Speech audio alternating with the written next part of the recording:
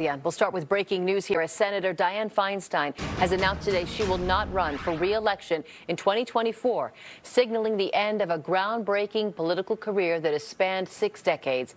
She said she will continue to serve out her current term in office, which ends in December of 2024.